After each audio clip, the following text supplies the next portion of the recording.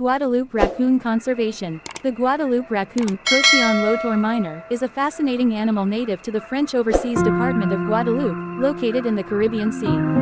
Also known as the Lesser Antillean raccoon, this species is a subspecies of the common raccoon Procyon lotor found in North America.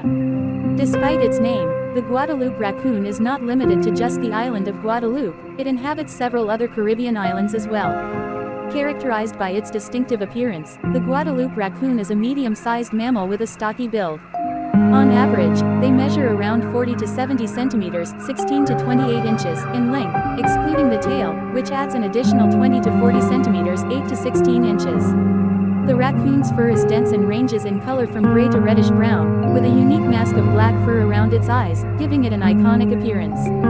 Like its North American cousin, the Guadeloupe raccoon is an omnivore with a diverse diet. Their menu includes fruits, nuts, small invertebrates, and even bird eggs. Their opportunistic feeding habits enable them to thrive in various habitats, from coastal regions and mangroves to forests and urban areas, where they sometimes scavenge for human food waste. The Guadeloupe raccoon is mostly nocturnal, becoming active after dusk and searching for food throughout the night. During the day, they typically rest in tree cavities or other concealed locations to avoid predators and the heat. Although they are solitary creatures, they occasionally form small groups, especially during mating season. The breeding season for Guadeloupe raccoons usually occurs from April to June, and after a gestation period of about two months, females give birth to a litter of one to five cubs. The young raccoons stay with their mother for several months until they are old enough to fend for themselves. Unfortunately, the Guadeloupe raccoon faces several threats to its survival. Habitat loss due to urbanization and agriculture poses a significant challenge, leading to a decline in their natural habitat. Additionally, introduced predators and diseases, such as feral dogs and rabies, have also impacted their population. Conservation efforts are crucial to protect this unique subspecies. Local authorities and wildlife organizations are working to raise awareness about their conservation status and implement measures to safeguard their natural habitats.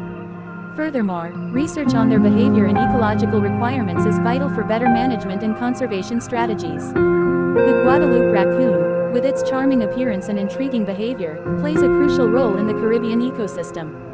Preserving their population not only ensures the well-being of this subspecies but also helps maintain the delicate balance of the diverse flora and fauna found on the islands they inhabit.